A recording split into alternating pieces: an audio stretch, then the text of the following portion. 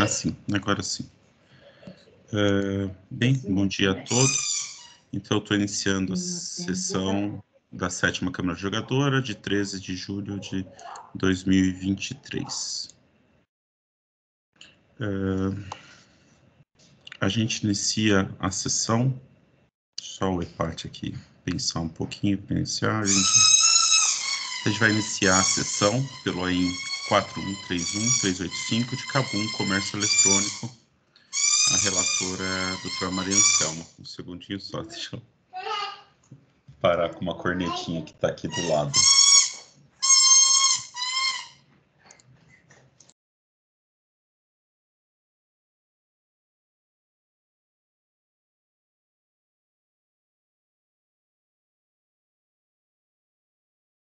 Eu vou gravar a sustentação oral do Dr. Tiago.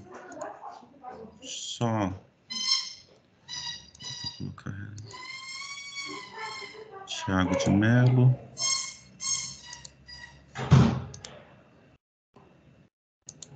Ok. Vou iniciar os debates. Ok. Então, a doutora Maria nos apresenta os autos por favor. Para depois a gente passar para a sustentação oral. Aqui. Pois não, presidente. Bom dia a todos. É, Trata-se de recurso ordinário pela contribuinte Cabum Comércio Eletrônico contra a decisão que julgou procedente o AIM. É, a infração é acreditamento indevido do ICMS no período por lançamentos extemporâneos, né, no campo 57 das dias, é, nos meses de janeiro a maio e julho de 2016, de notas fiscais de aquisição de mercadorias com a finalidade de uso e consumo do próprio estabelecimento. Trata-se de material de, embala de embalagem para condicionamento no transporte das mercadorias comercializadas. Então, é, a autuada foi devidamente notificada, apresentou defesa tempestiva de folha 109 a 137, alegando em síntese, em síntese que opera no setor de e-commerce e que para a entrega de seus produtos precisa contratar serviços de entrega que exigem embalagens, embalagens previamente especificadas para que não ocorra avaria nos produtos. Alega que as efetivas vendas de mercadoria só ocorrem após o recebimento eficaz pelo cliente, pois se ele recusar a receber a mercadoria por avarias na embalagem, não à venda. Alega que, de acordo com a decisão normativa CAT 1 de 2001, os materiais de embalagem do presente auto de infração são insumos e não materiais de uso e consumo, dando direito ao crédito, devendo assim ser cancelada a cobrança, também de acordo com este fundamento, e que a Constituição Federal reza que o imposto devido na operação de entrada seja compensado com aquele devido na operação de saída. Independentemente da qualificação da mercadoria e da legislação paulista, faz exatamente ao oposto quando restringe a não cumulatividade. As mercadorias que, supram diversos requisitos. Alega ainda a resposta à consulta tributária número 7641 de 2015, possui elementos extremamente semelhantes ao caso em análise, mas com conclusão totalmente diversa da resposta à consulta 19.723 de 2019, feita pelo impugnante, e que, mesmo que se argumente que o entendimento acima tenha sido modificado pela CEPAS em 2018, o auto de infração deve ser anulado, pois os fatos geradores objeto do lançamento são de janeiro, maio e julho de 2016, época na qual o entendimento do fisco estadual era pela legitimidade do crédito, por fim, fala que, ainda que se admita a incidência de juros sobre a multa, não seria possível a exigência desses juros, a partir da data da lavratura do auto de infração, mas somente a partir da definitividade do lançamento tributário, o que só ocorrerá ao final deste processo administrativo, quando então efetivamente passaria a se configurar a mora em relação à multa e que a aplicação do juro sobre a multa está acima da taxa Selic e que é ilegal. A, a, a, a fiscalização se manifesta as folhas 318 a 324 e a decisão da primeira instância julgou procedente o lançamento sem prejuízo do recolhimento e da, das multas impostas. Interpôs o recurso ordinário para a reforma da decisão. É, houve é, protesto por sustentação oral, as folhas 341 e 371, e a representação fiscal apresenta suas contestações ao recurso ordinário pela contribuinte. O processo foi distribuído para esta sétima Câmara deste Tribunal de Impostos e Taxas, com voto proferido pelo presidente e juiz relator, doutor Inácio, deu provimento ao recurso ordinário interposto pela contribuinte autuada, reconhecendo a omissão da decisão recorrida, determinando o retorno dos autos à primeira instância para julgamento, para complemento do julgado. A contribuinte junta aos autos petição com laudo é pericial e o ministro julgador de primeira instância proferiu a decisão mantendo uh, o auto de infração sem prejuízo da multa. Interposto o recurso ordinário, a contribuinte requer a reforma da decisão. Houve a admissibilidade do recurso por ter encontrado os pressupostos legais e há protesto por sustentação oral às folhas 437 e 435. A representação fiscal apresenta suas contras-razões e é o relatório, presidente. Ok, obrigado. Doutor Tiago, tem 15 minutos para a sustentação. Desculpa? Uma dúvida só.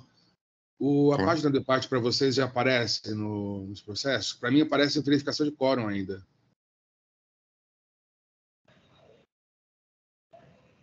Olha, para mim é, é, que é uma página diferente, né? Pro, como presidente, mas eu e aí iniciei os debates, inclusive. Já está com o debate iniciado desse voto. Já, né? Será que se você recarregar a eu página? Recarregar. Ah, eu vou editar o, o voto. Uhum. Ok. Alexandre, você quer esperar ou posso? O doutor Tiago pode, pode... Continuar, pode continuar, que eu, eu vou. Doutor Tiago, o doutor pode iniciar a sustentação oral em 15 minutos. Fique à vontade. Perfeitamente. Muito obrigado. Bom dia a todos e todas, em primeiro lugar. Né? Senhora relatora, senhor presidente, em nome de quem cumprimento todos os demais aqui presentes, uh, caro colega da representação fiscal, também doutor Henrique. Bom, eu vou, vou concentrar minha sustentação oral em quatro pontos, tá, primordiais. A primeira delas é uma situação processual, já muito, muito bem avançada e detalhada pela senhora relatora. Segundo ponto é uma impugnação específica com relação às contrarrazões e à diligência da PGE para tratar de concomitância, uma possível concomitância. Segundo, terceiro ponto, as nulidades que ainda permeiam na decisão. E no quarto ponto, enfim, o mérito efetivamente. Então, essa é a estrutura da minha apresentação de hoje muito brevemente. Então, diretamente ao ponto 1, um, que é a situação processual. Efetivamente, nós estamos no segundo né, recurso ordinário, tá? Uh, quando houve a primeira decisão de primeira, de, a primeira decisão de primeira instância, desculpa redundância, mas é exatamente isso, uh, houve a interposição de recurso ordinário, foi distribuído também para a sétima Câmara, para a relatoria da conselheira uh, juíza, em, ver, em verdade, Maria Alice Forgione.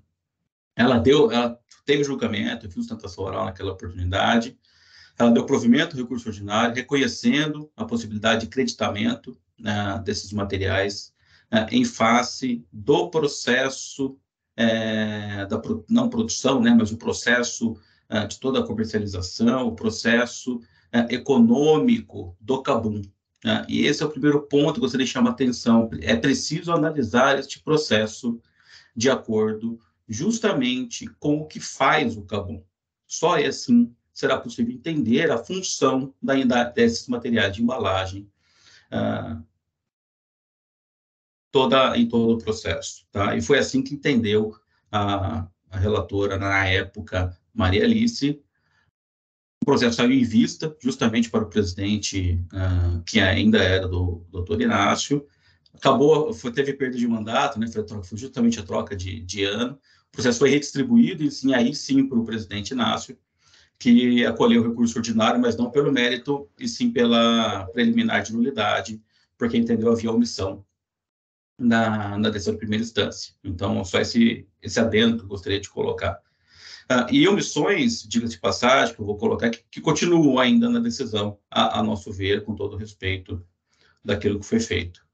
E o que aconteceu entre essa primeira decisão e, e a segunda decisão de primeira instância, né? Ah, e aí eu vou passar para o meu segundo ponto, que é a possível concomitância, que efetivamente não existe ah, na nossa análise, mas que a Procuradoria colocou em suas contrarrazões, é um ponto importante ah, a chamar a atenção dos senhores aqui, tá?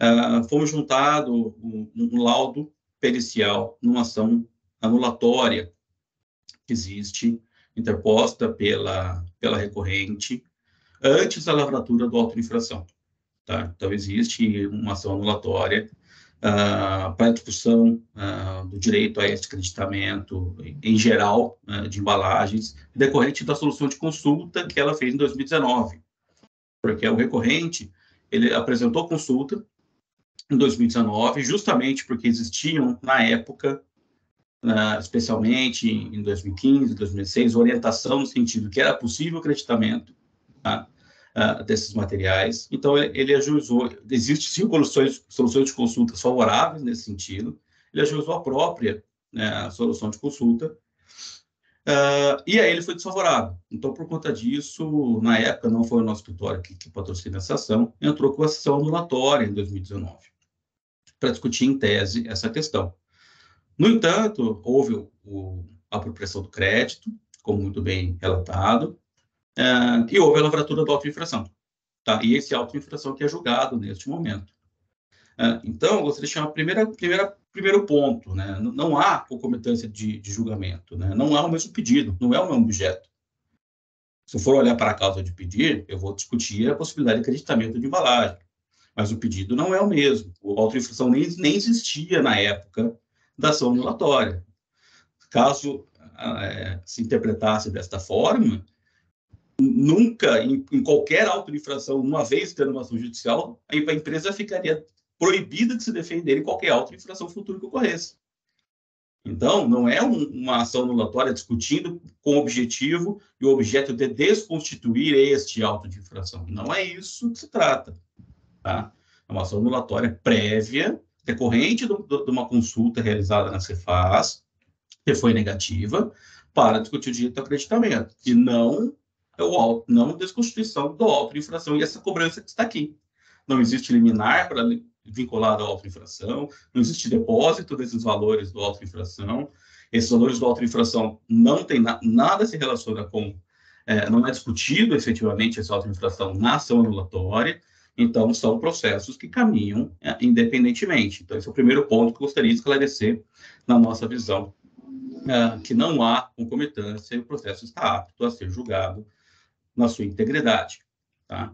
Então, o terceiro ponto é, é voltar nas questões é, de nulidade, porque a segunda decisão de primeira instância, objeto deste recurso ordinário, ainda assim deixou de se manifestar, principalmente pelo laudo, tá, um laudo técnico produzido afirmando que são materiais, é, esses materiais de embalagem são materiais intermediários, fazem parte do produto final, tá? eles não voltam à, à empresa, e sem eles não é possível a venda. O laudo fala exatamente isso, que é exatamente o que é defendido no processo. Não é uma sacolinha de supermercado, isso vai ter vários julgados nesse sentido. Não, é, é completamente diferente. É uma embalagem de, de acondicionamento para permitir que seja realizada a venda. Sem isso, não existe venda. Simples assim. Porque não existe loja física. Essa particularidade que eu quero sensibilizar os senhores. Ninguém vai na loja do Cabum, no shopping, e compra o produto. Né? Todos, todas as vendas são via internet, em que deve ser garantida a entrega íntegra daquele produto. São produtos sempre vinculados à tecnologia, são sensíveis e, por isso, necessitam de transporte próprio, transporte adequado e transporte específico. Né? E aí, é, senhores, eu não quero me alongar muito, eu só quero projetar, com sua licença, presidente, um, um slide que eu ilustro essa questão Os senhores já enxergam? Tá? Eu ilustro esta, esta questão uh, e, e, foram trazidos todos os contratos uh, mostrando o que, que precisa ter nessas embalagens para que seja possível o transporte e possível a entrega. Né? Existem contratos com todas a, UPS, com os Correios, uh, existe ata notarial juntada no processo, mostrando como que se dá dentro da dentro do galpão do cabum, como que se dá o processo de embalagem o procedimento de embalagem. O que, que foi primeiro, o que, que foi o plástico, como que faz o posicionamento. Uh, aqui está projetando essa, essas bolsas de ar, né? mostrando para que o produto, placas né, de computadores, celulares, eletrônicos em geral, não sofram avarias durante o transporte. E aqui existem algumas outras fotos uh, ilustrativas nesse sentido. Tá? Uh, e olhando para isso, que nós chamamos atenção para uh, decisões tá? do próprio Tite relacionadas a, a essa questão, e mais do que isso, e aqui eu trago várias, né, estão todas no, no recurso, para não vou alcançá-los né, aqui nesse momento, mas existem várias decisões concomitantes uh, ao período autuado, e, e, nesse ponto eu gostaria de abrir um parênteses sobre o artigo 24 da LINT, que a gente também invoca aqui, uh, que na época era, era muito tranquila a aceitação desse acreditamento. Então, isso precisa ser observado, que era a orientação da Secretaria da Fazenda naquele momento. E, já partindo para o final, né, tentando trazer essas questões para os senhores, eu trago uma recente consulta tributária de 2022. Tá, eu abri o site aqui, também a Liberdade abri diretamente no site, em que foi analisada uma situação extremamente parecida com caixas de papelão. Tá? Que foi aquisição de caixas de papelão por um fabricante de diversas outras é, diversas outras é, outros produtos. Por exemplo, aqui tem no item 2 é, torneira, ralo, engate, tubo, bolsa, ou seja, mostra que a caixa de papelão não é, não vem do fabricante daquele produto inicial, tal qual ocorre com os produtos Cabum, em que, por exemplo, o celular, a Apple tem a caixinha da Apple, celular da Apple, por exemplo, e existe uma outra embalagem para proteger essa embalagem do produto que vem da fábrica. Então, a situação aqui é a mesma, de fato. E lá no item 11, Vou baixar só para a gente chegar. Aqui, ó. Assim, respondendo objetivamente a questão formulada, uma vez que as caixas de papelão integram o produto final efetivamente fabricado pelo consulente, tendo assim participar diretamente do processo produtivo, haverá direito à apropriação do crédito, porque ele fala ao longo, inclusive protegendo os créditos temporâneos, que é o caso do processo, desse processo.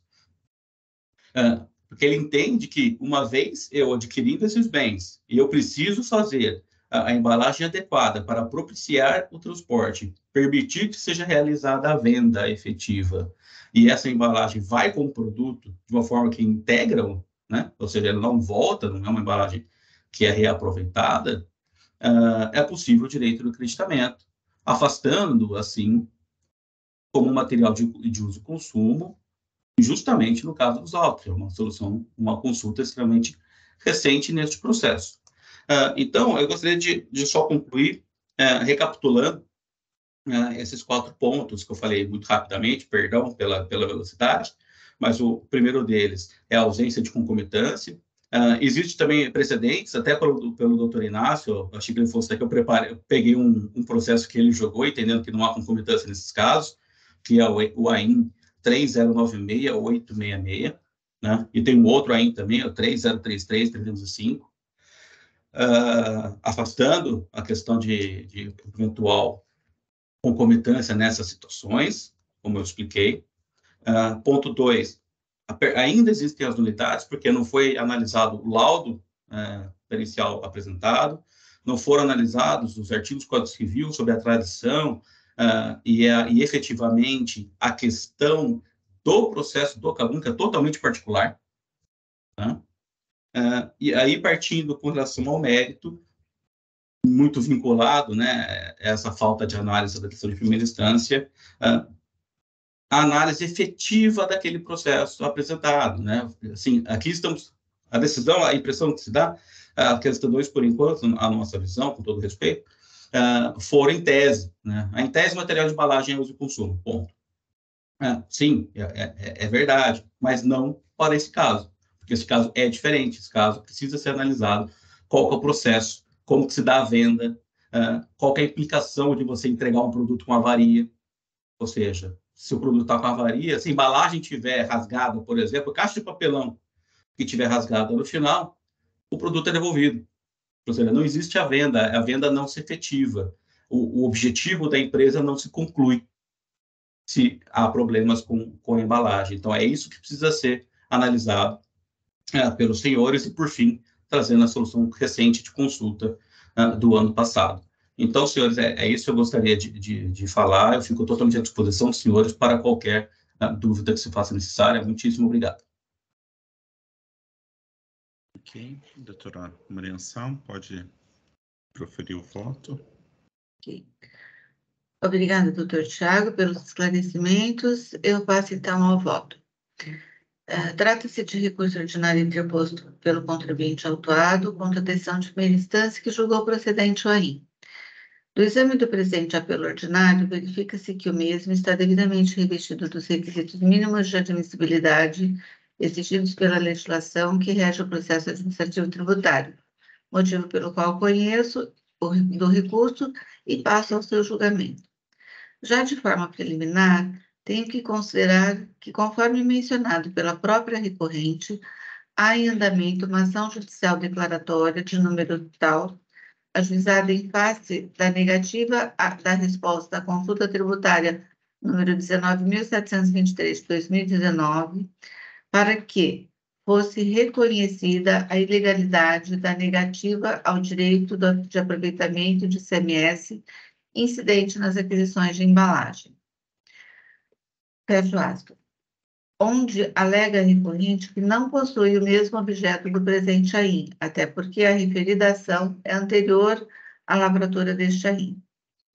Diante de tal informação, a representação fiscal converteu o processo em diligência encaminhando os autos à douta Procuradoria-Geral do Estado para manifestar se a matéria discutida nas esferas judicial e administrativa é coincidente ou não. Folhas 749 a 481. Assim, a Procuradoria Fiscal do Estado se manifestou às folhas 494 e 495, informando que a matéria do processo administrativo em epígrafe coincide com a demanda judicial, a qual aguarda julgamento do recurso de apelação interposto pela parte contribuinte. O artigo 30, parágrafo 1 da Lei 13457 de 2009, assim prevê. Aí eu menciono, então, o artigo 30.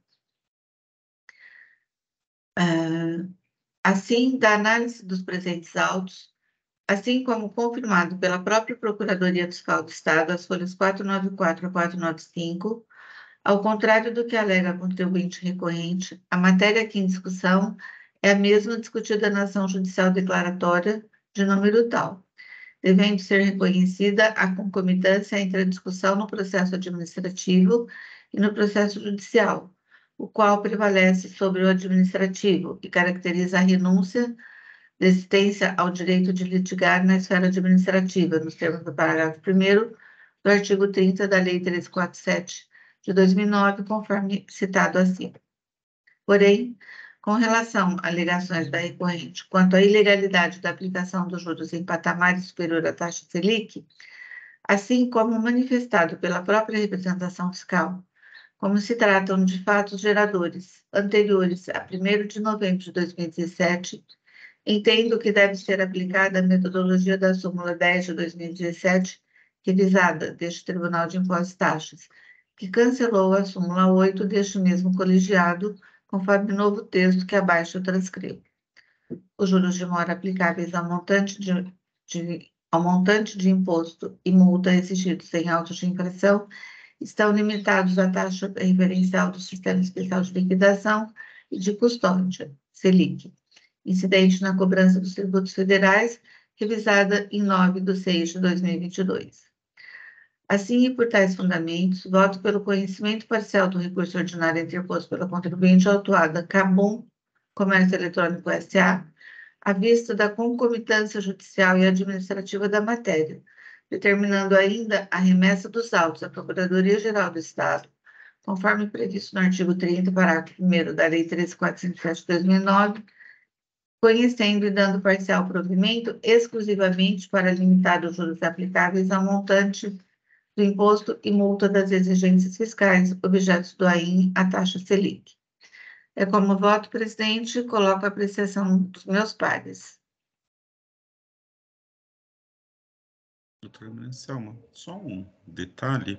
Hum. É, a doutora colocou que conhece o recurso diário e embaixo colocou o conhecimento parcial.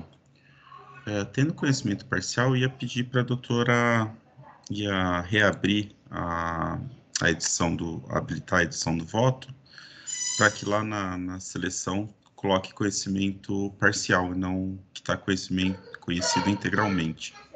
Ah, Pode perfeito. ser? Eu vou Aham. habilitar aqui a edição do voto. Perfeito, bem observado, doutor. Eu, por favor. Bem, os debates estão abertos. Se alguém tiver algum questionamento, alguma.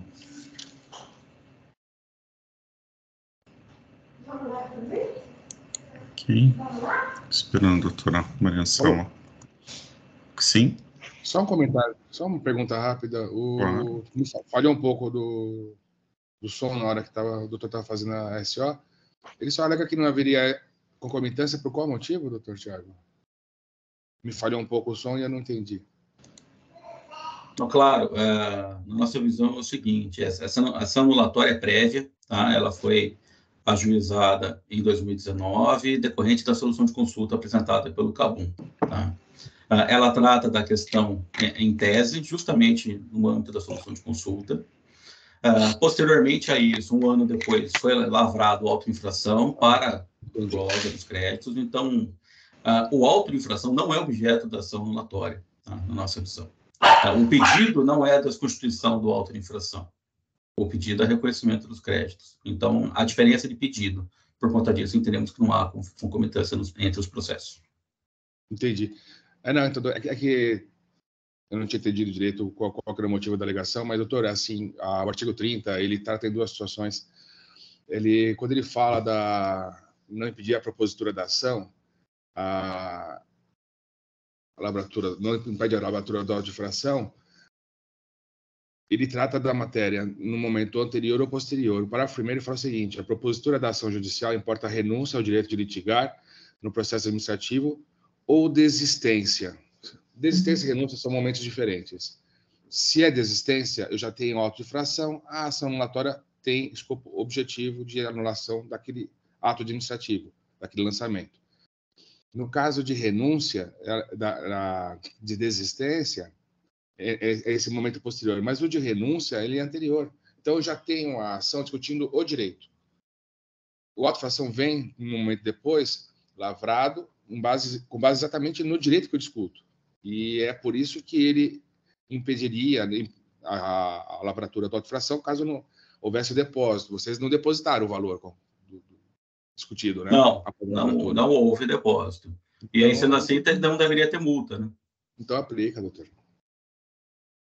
É, há incidência sim. Tá entendido. Eu Agradeço o esclarecimento. Obrigado. Mais alguém gostaria de se manifestar? Então, vou encerrar os debates. E vou verificar o quórum.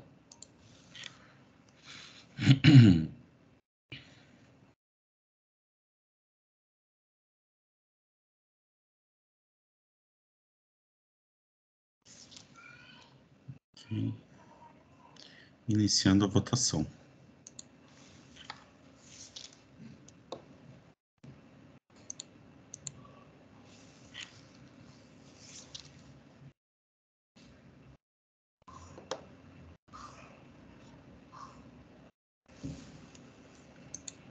Todos votaram. Encerrando a votação.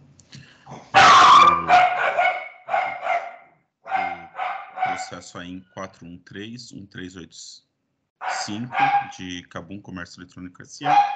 O, o recurso ordinário foi conhecido parcialmente e parcialmente provido nos termos do voto da doutora Maria Anselma. Agradeço a presença do Dr. Tiago. Muito obrigado a todos, desejo um ótimo julgamento. Vou passar agora para o processo 414-2355, caso logista atacadista de materiais de construção limitada, que é de minha relatoria. O Dr. Walter nos acompanha na sessão? Sim. Ok.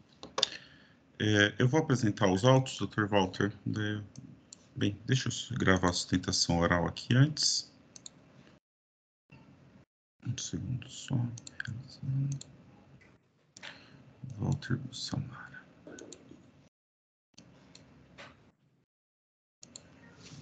Gravei a sustentação oral. Bem, o, o auto de infração tem três infrações, né? De, a primeira, deixar de escriturar notas fiscais eletrônicas relativas à entrada de mercadorias no estabelecimento, referente a operações tributadas, sendo que já se encontraram escrituradas as operações do período.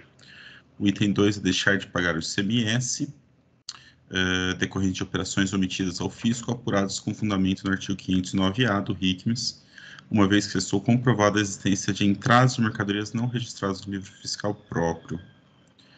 E o item 3, deixar de emitir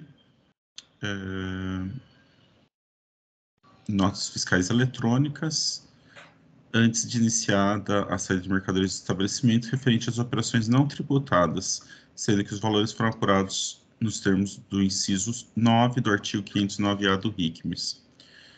É, foi apurada a diferença nas saídas por meio de confrontação da quantidade de mercadorias declaradas no estoque inicial de cada período, somadas às compras efetuadas, constatou-se que os valores foram maiores do que a soma das vendas com o estoque final declarado, comprovando que as saídas das referidas mercadorias foram realizadas sem emissão dos respectivos documentos fiscais. O ICMS não foi cobrado, nesse caso, por tratar-se de mercadorias sujeitas ao regime de ST. A autora apresentou defesa, a, o auditor fiscal da Receita Estadual apresentou a manifestação fiscal, o julgador fiscal converteu o feito em diligência à unidade fiscal de cobrança, houve o retorno de diligência do novo fiscal de cobrança, a representação fiscal emitiu parecer, manifestando sobre a diligência, autuada apresentou petição, também se manifestando sobre a diligência, a decisão de primeira instância julgou procedente o AIM, é, em face da decisão de primeira instância, autuada apresentou recurso ordinário e no recurso ordinário, a autuada alega que deve ocorrer a absorção da multa do item 2 pela multa do item 1, este já quitado. A multa do item 2 seria excessiva e não teria proporcionalidade nem razoabilidade. O valor do imposto devido no item 2 deveria ser reduzido pelo valor do imposto que a autuada poderia ter se creditado no item 1 o item 2 do parágrafo 3 do artigo 527 do RICMES veda a aplicação cumulativa das penalidades dos itens 2 e 3. A multa do item 3 é confiscatória, a multa do item 3 deveria ser de 80% do valor do imposto, ao invés de 50% do valor da operação, mesmo com a benesse da redução de 50% deve ocorrer a redução ou relevação da multa do item 3, em linha com o artigo 527A do RICMES, e deve ser anulado decisão de primeira instância, pois essa não analisa todas as provas que infirmariam a atuação, sendo que tais provas estariam em posse da fiscalização, consubstanciando-se nas informações da empresa constante nos sistemas do fisco a representação fiscal converteu o feito em diligência ao auditor fiscal autuante, houve o retorno da diligência, a representação fiscal, em seu parecer, apresentou contra-razões ao recurso ordinário e os autos foram distribuídos à minha relatoria. Esse é o breve relato dos autos. O Dr. Walter pode iniciar a sustentação oral, tem 15 minutos. Bom dia a todos. Uh o recurso ordinário ele já está bastante é, detalhado em relação aos argumentos de defesa da autuada. Isso foi espelhado no, no relatório do ilustre relator do processo. Então, é, nessa sustentação oral, eu gostaria de chamar a atenção apenas para duas questões. É, primeiramente, o auto de infração ele decorreu de um de, de levantamento fiscal. E as operações fiscalizadas, elas se dividem em operações tributadas e operações não tributadas. Em relação às operações tributadas, houve uma combinação de multa pela omissão de registros de entradas das mercadorias e houve, o, por conta da mesma omissão, a cobrança de ICMS por presunção de saída dessas mercadorias com a sua correlata multa regulamentar. Então, em relação às operações tributadas, nós temos a multa por infração à obrigação acessória do registro de entradas e nós temos a cobrança do ICMS com a sua respectiva multa. Então, a mesma omissão, o mesmo fato base, ensejou as duas infrações. Portanto, neste sentido, a autuada entende que, pelo princípio da absorção, a multa regular, regulamentar do ICMS, ela deve ser absorvida pela multa mais grave que foi combinada na infração 1 pela omissão de registros de entrada. Então, um primeiro pleito da, da, da, recorrente, que trago aqui a sustentação oral, é a necessidade de absorção da multa da infração 2 pela multa da infração 1, de forma que a multa da infração 2 caísse por terra e permanecesse apenas a multa da infração 1 que é de 10% do valor das operações, enquanto a, a multa do ICMS foi de 80% sobre o valor do imposto. Caindo a multa da infração 2 e prevalecendo a multa da infração 1, a autuada já informou que, por questões de, de, de é, econômicas e pela, pela, pelos descontos que a própria Fazenda concedia, ela já até recolheu essa infra, a multa da infração número 1, de forma que, então, a multa da infração 1 está paga, a multa da infração 2 foi absorvida, só haveria que se falar no ICMS mesmo, no que toca à infração 2.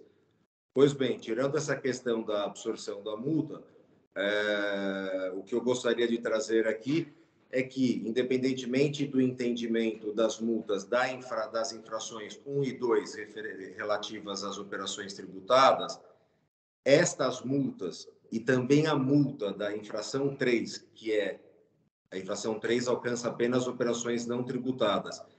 Todas essas multas, elas são passíveis de redução, de relevação ou pelo menos uma redução por preenchimento dos requisitos do artigo 527-A do, do regulamento do ICMS, já que não houve comprovação de ocorrência de dolo, fraude e simulação.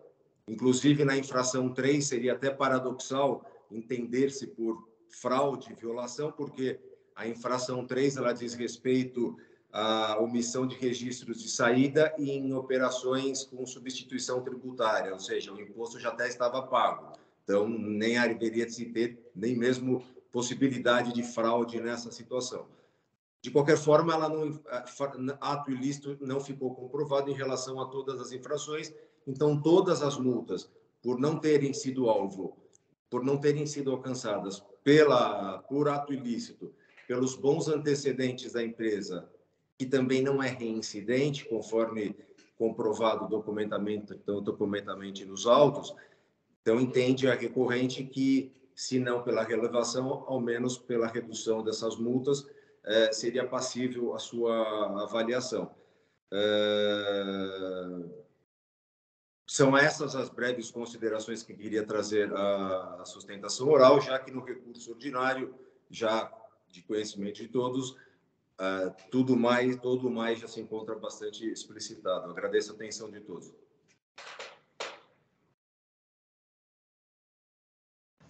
Ok, vou passar então ao meu voto. Inicialmente, cabe informar que o Núcleo Fiscal de Cobrança apresentou parecer informando da liquidação do item 1 do AIM. Dessa forma, esse voto versará sobre os itens 2 e 3 do AIM. A autuada alega nulidade da decisão de primeira instância, pois essa não analisou todas as provas que infirmariam as infrações. Todavia, a autuada não apresenta as provas, alegando de forma genérica que elas estariam em posse do fisco e se consubstanciariam em Sintegre, SPED e afins. Por mais que a autuada entenda que as provas estão em posse do fisco, cabe a ela informar quais seriam essas provas e como elas infirmariam as infrações. De todo modo, é inviável que qualquer decisão possa analisar toda a informação que o fisco possui sobre determinado contribuinte, sendo que não há indicação clara da informação que deve ser analisada e como ela infirmaria a acusação. Assim, não deve prosperar a alegação de nulidade da decisão de primeira instância. Autuada alega que deveria haver absorção da multa do item 2 pela multa do item 1, que já foi quitado. O item 1 trata da falta de escrituração de notas fiscais de entrada, e o item 2 de falta de pagamento de CMS em operações omitidas do fisco. No meu entender, o parágrafo 5 do artigo 85 da Lei 6374 de 89 veda afastar-se a aplicação de penalidades, salvo as disposições do parágrafo 3 do mesmo artigo, o que não ocorre no caso em tela. Todavia, mesmo que esse não seja entendimento, para haver a consunção, uma infração deve ser ato preparatório para outra infração. O auditor fiscal autuante bem explicou a falta de relação entre os itens 1 e 2 do AIM. Aqui eu transcrevo o, o, a explicação do auditor fiscal. A presunção prevista no artigo 509A do RICMES não leva em consideração o tipo de mercadoria adquirida, mas apenas os valores referentes à operação não escriturados na entrada, fato que leva à presunção legal de que houve pagamento dessas aquisições com recursos não contabilizados, ou seja, obtidas de operações realizadas não declaradas ao fisco, portanto, sem o pagamento do imposto devido. Ou seja, não há que se falar que as operações autuadas do item 2 já estariam contempladas no item 1 do AIM. Assim, resta claro que a infração do item 2 não é auto preparatório para a infração do item 1. Dessa forma, não cabe alegação de construção entre as infrações. Também não deve ser acatada a alegação da autuada de que o parágrafo 3 do artigo 85 da Lei 6374 impede a acumulação das penalidades do item 2 e 3. Isso decorre do fato de que as infrações dos itens 2 e 3 não referem-se às mesmas operações, como bem explanou o auditor fiscal autuante. Aqui eu copiei um trecho, eu vou uh, ler ele um pouco mais resumido, mas ele diz: Inicialmente, cumpre lembrar que houve cobrança do ICMS apenas no item 2 do AIM. No item 3, ficou claramente consignado que o ICMS não foi cobrado por tratar-se de mercadorias sujeitas ao regime de ST. São as seguintes as capitulações legais, né? Uh, as capitulações supracitadas foram utilizadas porque não se tratam de infrações simultâneas decorrentes da mesma conduta. A infração constante do item 2 refere-se à falta de pagamento do CMS em operações omitidas do fisco em função da não escrituração de documentos fiscais na entrada, como já mencionado nesse item, houve cobrança do imposto. A infração constante do item 3 refere-se à falta de emissão de notas fiscais eletrônicas de saída. Como já mencionado nesse item, não houve cobrança do imposto. Dessa forma, considera-se que não se trata de infrações simultâneas, decorrência da mesma conduta, e considerando que o CMS só foi exigido no item 2, é possível a aplicação das penalidades por terem sido cometidas as infrações escritas no item 2 e 3. Diante de tais fatos, é claro que, por não incidirem sobre a mesma operação, as penalidades, as penalidades do item 2 e 3 não teriam sua acumulação impedida pelo parágrafo 3 do artigo 85 da Lei 6374. Dessa forma, é possível e está correta a aplicação das penalidades para operações diversas. A alegação da autuada de falta de proporcionalidade e razoabilidade de confiscatoriedade das multas do item 2 e 3 não merece prosperar, pois as multas são calculadas segundo a Lei 6374, o que faz com que a exigência de multa esteja amparada em norma válida, vigente e eficaz, não podendo ter a sua aplicação afastado por esta Câmara julgadora. Também não merece prosperar a alegação da autuada de que o valor do imposto cobrado no item 2 deveria ser reduzido pelo valor do imposto que a autuada poderia ter se creditado no item 1, tanto pelo fato que o artigo 61 do RICMES condiciona o direito ao crédito à escrituração do respectivo documento fiscal, o que não ocorreu no caso em tela. E mesmo que fosse possível o crédito, a Fazenda Pública não tem a prerrogativa de refazer a escrituração fiscal do contribuinte, sendo que essa, de acordo com o artigo 35 da Lei 6374, é a responsabilidade exclusiva do contribuinte. Ainda, a utilização de créditos do imposto é faculdade do contribuinte, sendo seu direito subjetivo, não havendo previsão legal para a Fazenda Pública realizá-lo. A autuação alega que a multa do item autuada, desculpa, alega que a multa do item 3 deveria ser de 80% do valor do imposto ao invés de 50% do valor da operação. Aqui temos que a capitulação da multa do item 3 está correta na linha A do inciso 4 do artigo 85, que fala que a falta de desculpa, a falta de emissão de documento fiscal multa equivalente a 50% do valor da operação ou prestação. Assim, não há de se falar que a multa deveria ser de 80% do valor do imposto, dada a clara redação do normativo. Correto também a redução de 50% da multa, dado o disposto do parágrafo 2 que eu acabei pulando aqui, do artigo 85. Se trata de redução até.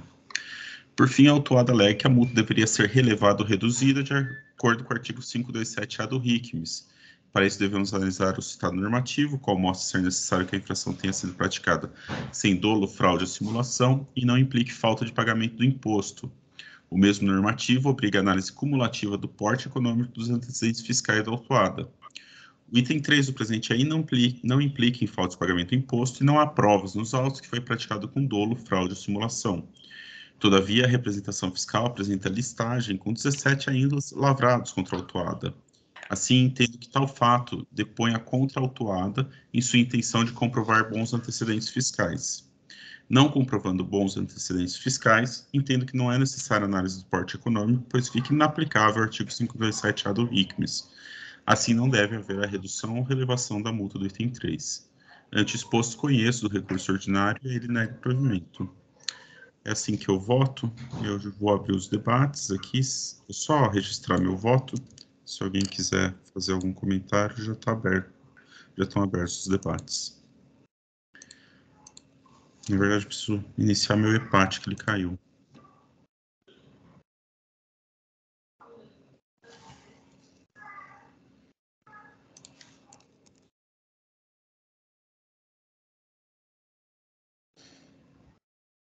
O patrão está pedindo a palavra, Paulo.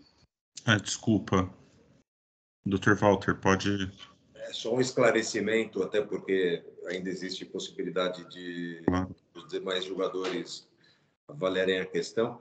Uh, a manifestação fiscal, uh, ao afirmar a existência de autos de infração, não significa uh, macular os antecedentes fiscais da empresa, porque ter um auto de infração ainda sem decisão final não significa que a empresa é declarada culpada então, só esse o esclarecimento que eu gostaria de. Obrigado, Dr. Walter. Eu tô. Meu empate não está abrindo. Eu vou pedir um minutinho aqui para tentar abrir ele.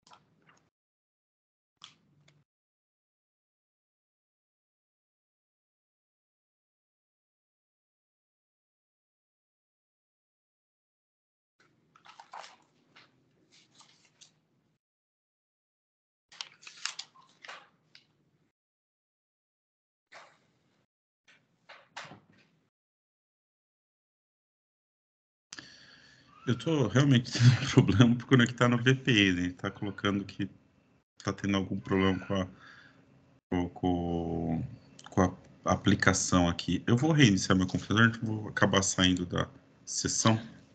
Paulo, realmente tô, tô, também estou tendo essa dificuldade, viu? E estava é. tava funcionando certinho. Eu vou tentar entrar de novo também. Estou tendo essa tá. dificuldade é. também, igual você.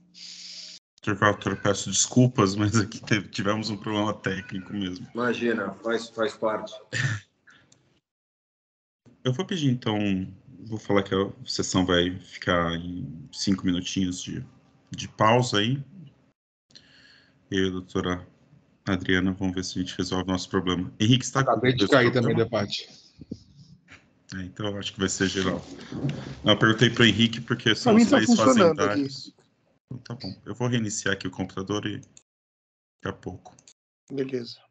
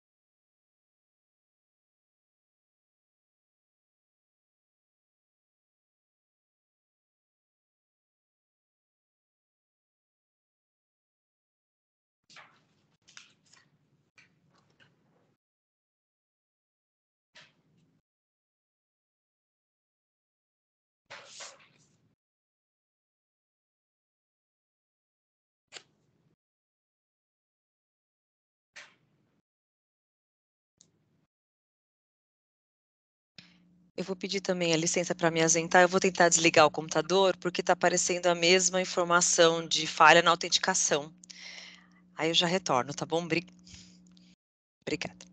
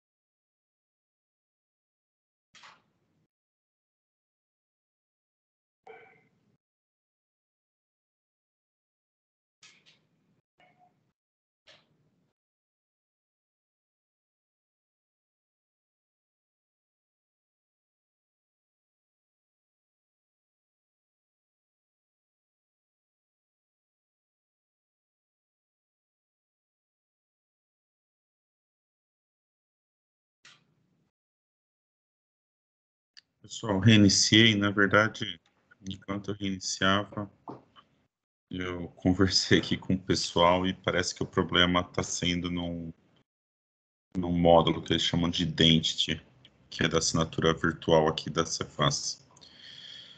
É, então, acho que a gente vai, vai acabar atrasando um tanto. Do Walter, eu vou pedir para ficar 10 a 15 minutos de intervalo. Se não voltar nesse, nesse período, esse processo eu vou retirar de pauta, para a gente poder fazer o julgamento com, com o doutor presente e também não, não ficar fazendo o doutor aguardar aqui um tempo inadequado. Vou só pedir então 15 minutos. Né? São 9h41 agora. Eu, se até às 10 horas não, não conseguirem resolver, eu vou tirar esse processo de pauta e daí eu vou ver os demais. Então, assim que resolveu, eu chamo o doutor. Tudo bem, eu, de qualquer forma, de minha parte, eu estou com o celular ligado aqui, estou à disposição. Então, tá ótimo. Muito obrigado. Boa sorte aí na. obrigado.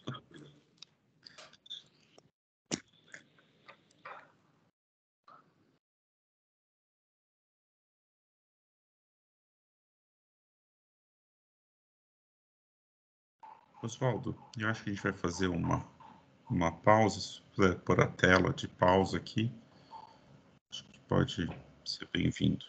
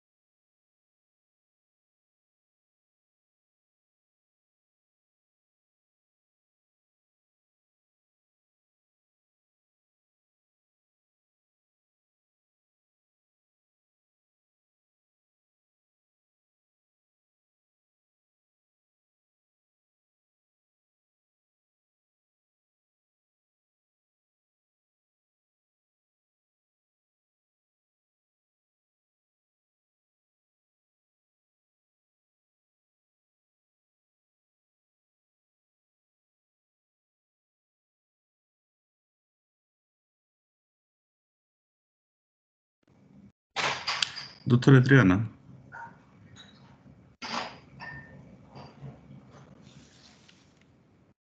Oi, oi, doutor Paulo. Peraí. Tudo bem?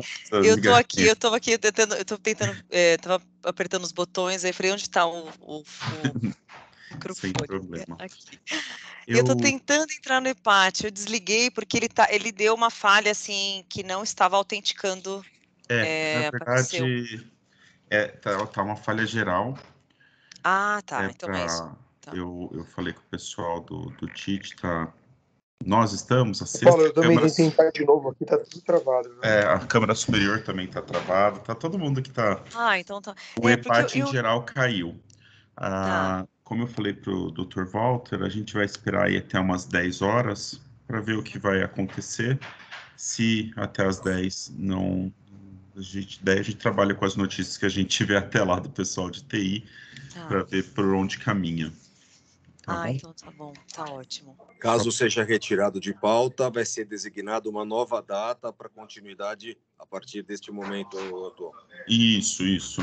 Provavelmente eu vou colocar para a próxima pra sessão da semana que vem, Dr. Walter. Ok. Vou para tentar já, já resolver esse processo, já continuar, Bom, né, cara? então aguardamos a mais 12, mais um pouquinho então. Fico É. no aguardo. Obrigado. Então, tá Voltei, bom. Paulo. Não tem. Eu estava comentando aqui com a, com a Adriana, com o Henrique, isso foi tá um problema na Cefaz, né, no EPAT, no sistema, tanto que as outras câmaras que estão em sessão e, a inclusive a superior, estão com o mesmo problema. Não é um problema nosso, não é um problema de ninguém. Então, eu combinei com o Dr. Walter que a gente vai esperar até as 10. Eh, se até as 10 não tivermos solução, né? eh, eu vou tirar de pauta esse processo. E daí, com as informações que a gente tiver, eu vejo os demais processos, o que a gente faz. Se a gente vai encerrar a sessão, vai continuar, vamos dar uns mais uns 10 minutos aí para ver que informação que vai vir aí do pessoal de TI da Cefaz. Então, Ok. 10 horas a gente retorna aí para ver para que lado a gente vai. Ai, obrigada, Paulo, porque ele agora apareceu até uma mensagem assim que estamos com problema de auten- autenticação, né? Eles formalizaram aqui, então não realmente não não Ah, é? não é, tá ele na hora que você entra, ó, autenticação, ocorreu um ocorreu um problema Ah, com a tá. solicitação, tente novamente mais tarde. Ah, tá. É a mesma página que eu tenho aqui. Não, É. Nunca tinha visto ela, inclusive. É, isso eu nunca tinha visto também essa página. É, mas está com problema é, Tá, é, é. na autenticação. O doutor Adriano, o PGSF também está fora. Tá você não está conseguindo é. autenticar, então. É, eu- acho que vai ser que a gente vai ter que encerrar essa sessão, mas Eu- eu tam- aguardar. É, quando eles colocam assim, né, Paulo, eu também acho, acho que não é algo que resolva tão rápido, mas quem sabe, né? É, mas eu quero dar uma aguardar até para não tomar nenhuma decisão precipitada. Com certeza. Então tá bom. A gente aguarda.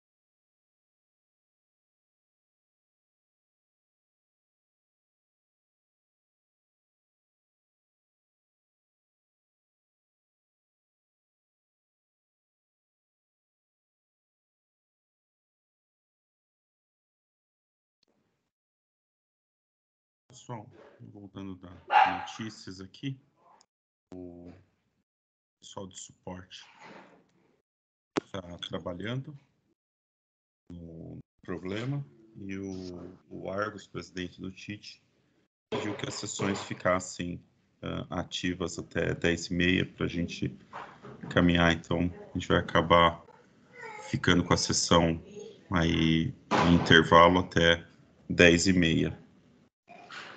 E se o Dr. Walter puder esperar, se não puder, eu realmente tiro da, da, da pauta o processo do, do, da lojista. Eu posso esperar sim. É, se o horário já for pré-determinado para 10h30, eu posso sair e regressar um pouquinho antes, então. Então, sem problema, doutor Walter. Se o doutor voltar às 10h30, se retomar antes, a gente pode começar e ir para um outro processo. Acho que não vai acontecer, mas tá. se o doutor não tiver na sessão, eu vou para outro processo e daí eu retorno com o processo ah, então, da cardiologista.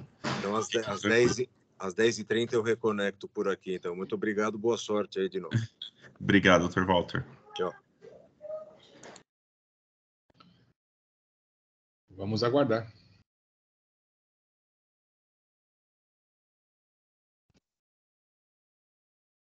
Tá mudo, Paulo. eu só falei que eu vou mandar uma mensagem para a doutora Maria Anselma, que ela não está na sessão. Adriana, Henrique, vocês ouviram? Só para dar um joinha aí que eu. Sim, sim, Paulo. Então tá ótimo. Tá bom. Para a gente não ficar, eu vou retomar mesmo. Vou voltar umas 10h20, 10h30 mesmo. Se quiserem fazer qualquer coisa, fiquem à vontade. Não, não vou retomar antes de ninguém aí. Então tá bom. Obrigado, Paulo. Obrigado.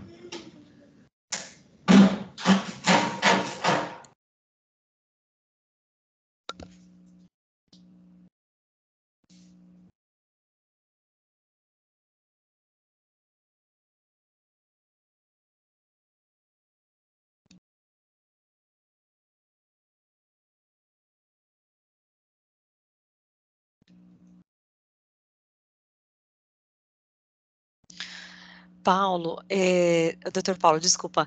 Imagina. É, é, eu acho que ficou mudo o meu, meu fone aqui. Eu perdi alguma coisa? A gente continua aguardando, né? Você ainda é, vai. Eu falei ah. com, o, com, o, pessoal de, de, de TI está tentando ver se consegue resolver o problema. Tá. O Argos, o presidente do TIT, pediu que a gente mantivesse as sessões ativas até umas 10h30. Tá ótimo. Né? Então a gente vai é que eu falei, eu vou voltar umas 10 e 20, 10 e 20, 10 e 30 para ver o que acontece, né? Então, se quiser fazer outra coisa, eu não vou chamar nesse meio tempo. Ah, então tá bom, então tá perfeito. Eu tô por aqui. É, na verdade, assim, acho que pode ser que seja também resolvido rápido, né? Nunca aconteceu. Às vezes é uma queda no sistema mesmo, né? Vamos é. aguardar, assim. Então tá bom. Tá bom. Obrigada, viu? Imagina, até mais.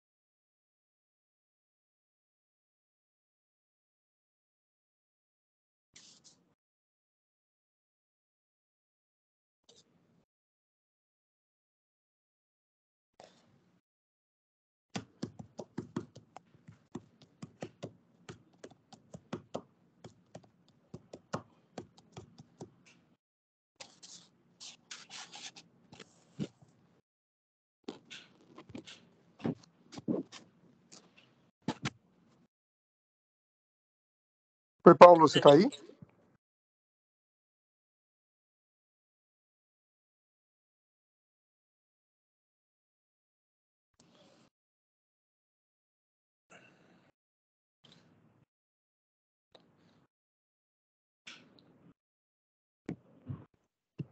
Conseguiram acessar o EPAC novamente?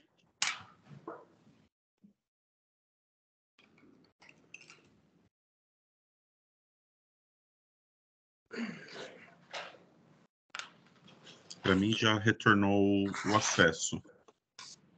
Se alguém não estiver conseguindo, eu sugiro que reinicie o computador para limpar o o cache, essas coisas.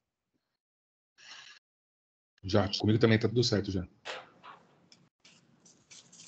Doutora Maria Selma, é? Presidente, o meu está processo administrativo É tributário, votos não eletrônicos, mas eu não consigo ver os votos. Eu vou re- é, reabrir. tenta reabrir e ver se a gente É. consegue. Uhum. É, é, pode ser, né? Seria um, empe- um empecilho, né? Eu já tentei no EPAT, não consegui. Agora vamos ver no É, checking point. mas se quiser marcar com esse pessoal e a Luciana e é, mas pode marcar e veja a luta, a Luciana tá de férias, ela volta acho que semana que vem. Doutora Acho Maria que Selma, voltou, tá, mas- vaz... tá vazando seu áudio aqui, eu não Mas sei se é- é algum. Doutora Adriana conseguiu conectar?